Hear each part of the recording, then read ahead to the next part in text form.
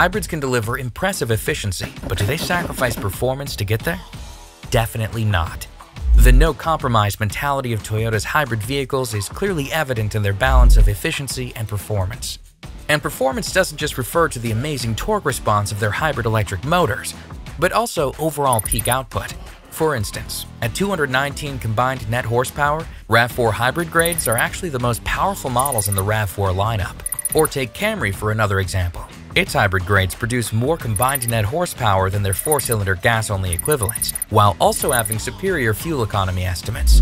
And better yet, Toyota hybrids get this added charge from renewable sources like the vehicle's own braking system, meaning no plugging in is needed to enjoy it.